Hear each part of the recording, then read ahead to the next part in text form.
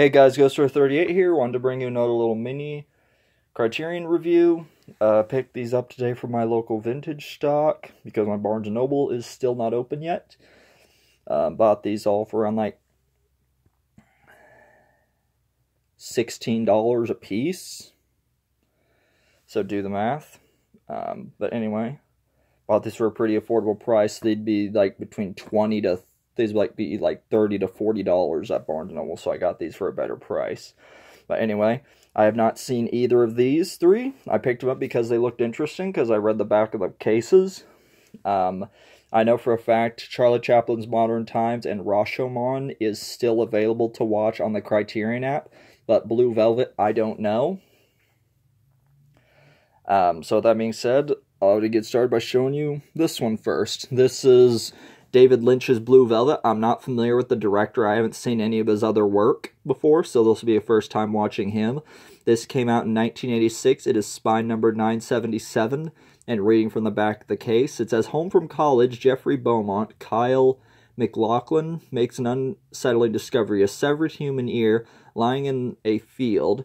In the mystery that follows, it by turns terrifying and darkly funny, writer director David Lynch burrows deep beneath the picturesque surfaces of small town life. Driven to investigate, Jeffrey finds himself drawn closer to his fellow amateur sleuth Sandy Williams, played by Laura Dern, as well as their person of interest, lounge singer Dorothy Vallens, Isabella Rossellini, and facing the fury of Frank Booth, Dennis Hopper, a psychopath who will stop at nothing to keep Dorothy in his grasp. With intense performances and hauntingly powerful scenes and images, Blue Velvet is an unforgettable vision of innocence lost in one of the most influential American films of the past few decades. It's 120 minutes long in color, 5.1 surround sound, 2 3 5.1 ratio aspect. It's a two disc. It's uh, second disc is a couple documentaries, deleted scenes, alternate takes, uh, interviews,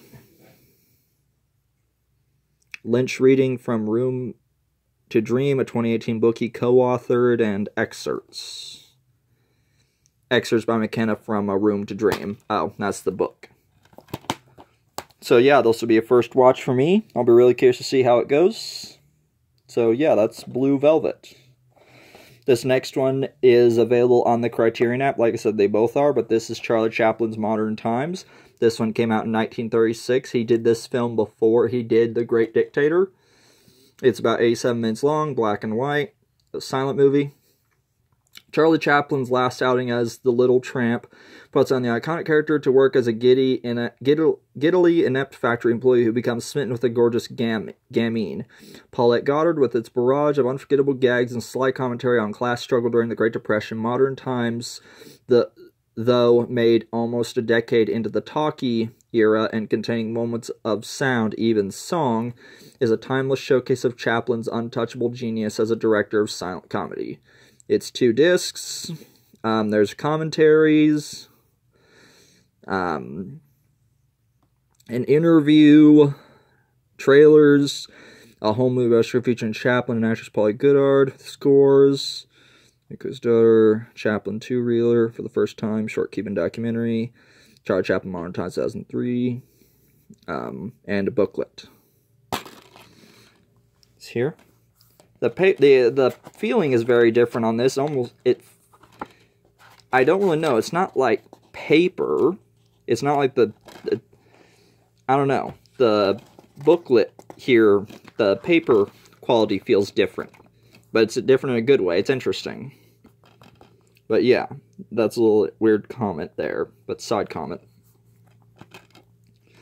But anyway, um, I know this is available in the Criterion app. I've said that twice now. My apologies. Um, have not seen this one before. I'm only familiar with his work on The Great Dictator. So yeah, this will be interesting to watch. So, oh yeah, I'm sorry, this came out in 1936, and this is spy number 543. So yeah, Chaplin's Modern Times. And then the last one is another Akira Kurosawa film because I really enjoyed his work with um, the Seven Samurai. I bought this one brand new. Uh, Modern Times and Blue Velvet I brought I bought used. This one is Rashomon, a riveting psychological thriller that investigates the nature of truth and the meaning of justice. Rashomon is widely considered one of the greatest films ever made. Four people give different accounts of a man's murder and rape of his wife, which director Akira uh, Kurosawa presents with striking imagery and an ingenious use of flashbacks. This eloquent masterwork and international sensation revolutionized Jap- revolutionized film language and introduced Japanese cinema and a commanding new star by the name of Toshiro Mifune to the Western world. Came out in 1950. It's 88 minutes long, black and white, in Japanese with English subtitles.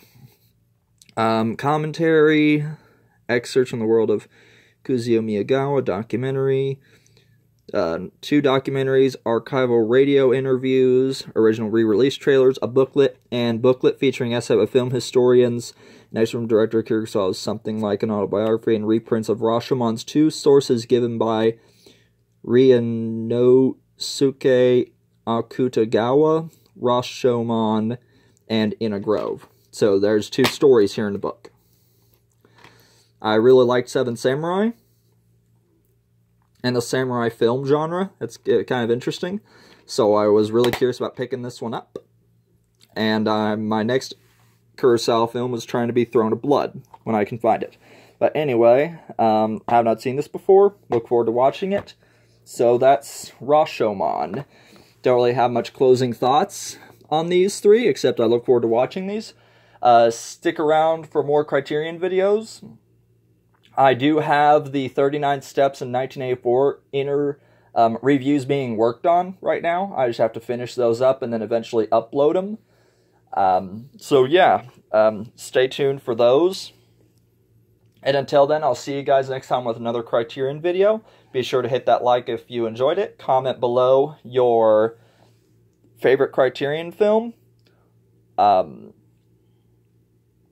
be sure to hit that bell notification so you'll stay up to date. Stay up to date when I make more videos or when the newest video comes out. And be sure to hit that subscribe to keep up to date with more videos like these. And until then, I will see you guys next time. And have a good rest of your day and take care. Peace.